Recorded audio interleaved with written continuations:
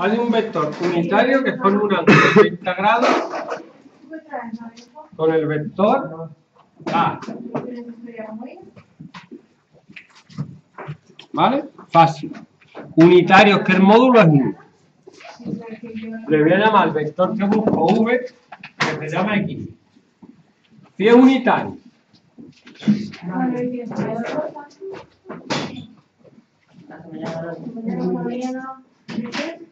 el módulo es 1. ¿Vale? Si el ángulo es 30, el coseno de 30 es producto escalar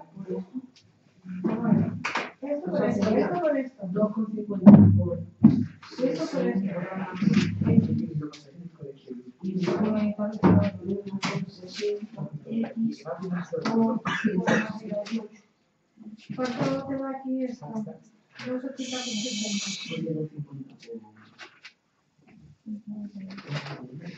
y ahora hay el truco, ¿Pero cuánto te va esto? el truco del PP. ¿Vale? Atención al truco del PP. Eh, ¿Vas a pasarlo todo a Suiza o qué?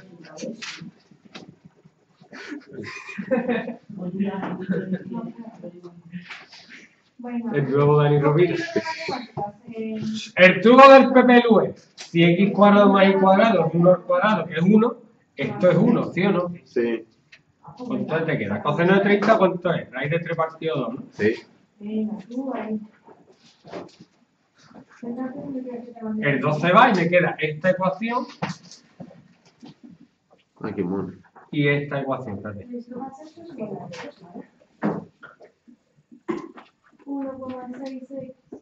Y ya yo con este un viscoso despejo la X o la Y.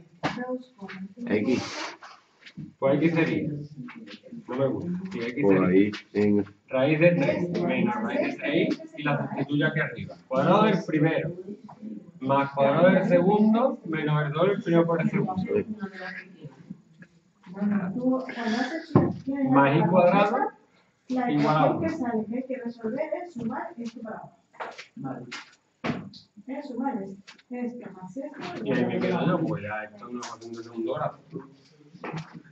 Son, difíciles. ¿Qué pasa? Nada, ¿Qué, es lo que no ves? No veo ¿No ves? No. ¿Desde dónde no ves? Desde aquí. Esto sí la ha pillado el truco. Yo sí, pero. Y ahora él no lo quito y me queda esto y esto. Y ahora despejado la X de aquí.